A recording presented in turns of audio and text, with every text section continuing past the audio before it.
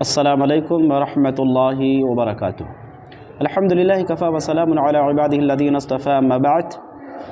وعن أبي هريرة رضي الله تعالى عنه أن النبي صلى الله عليه وسلم صعد المنبر فقال آمين آمين آمين.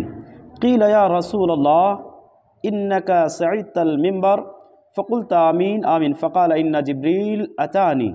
فقال من أدرك شهر رمضان فلم يغفر. له فدخل النار فابعده الله قل آمین فقلت آمین معزز ناظرین، رمضان المبارک سیریز کی تیرہویں نشست اب کی خدمت میں حاضر ہے۔ موضوع ہے،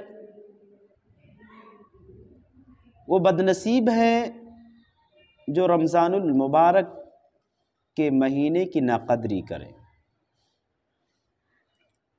وہ لوگ بدنصیب ہیں جو مبارک مہینے کی قدر نہ کر پائیں۔ آئیے بڑی پیاری حدیث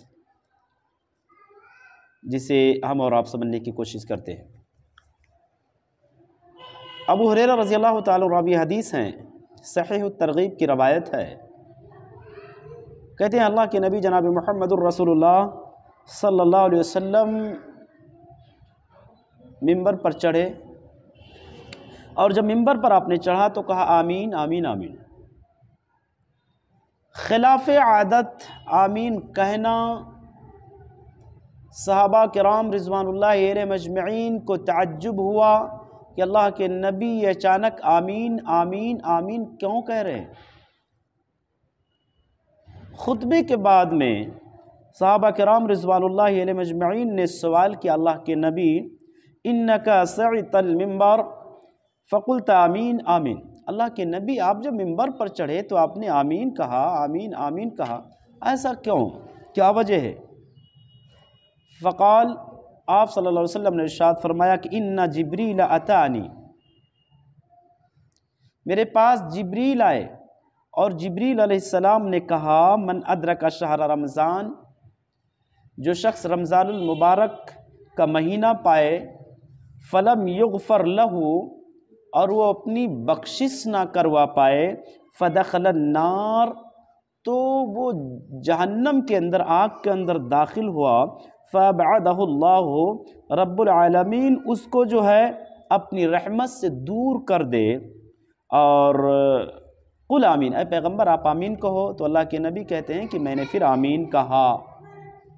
یہ حدیث ہمیں اور آپ کو یہ بتاتی ہے کہ بدنصیب ہیں وہ لوگ جو رمضان المبارک کا مہینہ پائیں اور اپنی بخشش نہ کروا پائیں، گویا کہ وہ اپنے لیے جہنم تیار کر رہے ہیں۔ ہے نا؟ تو اس حدیث سے پتہ چلا کہ رمضان المبارک کے مہینوں کی ناقدری کرنے والے بدنصیب ہیں۔ رمضان المبارک کے مہینوں کی ناقدری کرنے والے اللہ کی رحمت سے محروم ہو جاتے ہیں۔ سال کے گیارہ مہینے ان کے نحوستوں میں گزرتے ہیں۔ جو رمضان المبارک کا مہینہ پا جاتے ہیں، بڑے خوش نصیب ہوتے ہیں۔ لیکن اگر اس کی ناقدری کر دیتے ہیں، تو بڑے بد نصیب ہو جاتے ہیں۔ اللہ سے ہم دعا کرتے ہیں کہ اللہ ہم تمام مسلمانوں کو ایسے بد نصیبوں کے زمرے میں شامل ہونے سے بچنے کی توفیق عنایت فرمائے۔ آمین۔ السلام علیکم ورحمۃ اللہ وبرکاتہ۔